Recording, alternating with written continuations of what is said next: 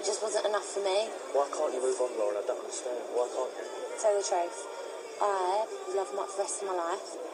And that's true, I'll always love him. Like, I'm, I'm in a habit. It. I keep going back like a habit. Is there anything you regret or anything like that? Yeah, loads of Is there anything you would have changed? Or Yeah, loads of things. But he could have been different? if I knew then what I know now, yeah.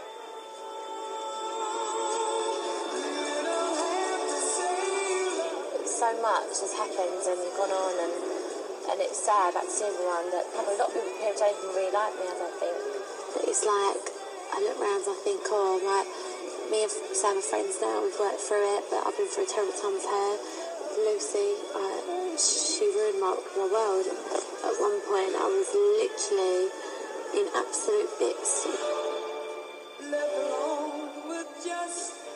can't stay around here anymore. I need to get away for a while. Where are you going to go? I feel like I need to be me. I need to get away and find myself. Being serious? Mm. You alright? You sure? God, it's another friend gone. I'm just so scared. Why are you scared? You made this decision, didn't you? I've been through such a journey. Like all the battles I've had with Sam, Lucy, and Mark, love of my life, and I felt so devastated. We both deep down know that, you know, we've both lost the loves of our lives. I know you still love Lizzie. I know you do. It's just sad the way things work out, isn't it? I'm going to miss you. Wish you too.